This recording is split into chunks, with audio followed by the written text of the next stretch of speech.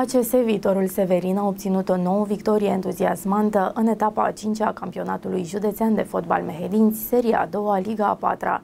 Meciul plin de pasiune și determinare a avut loc sâmbătă 2 decembrie pe stadionul din Pristol, acolo unde echipa a înfruntat CS Viitorul cu Șmir și s-a impus cu un scor convingător de 3 la 0.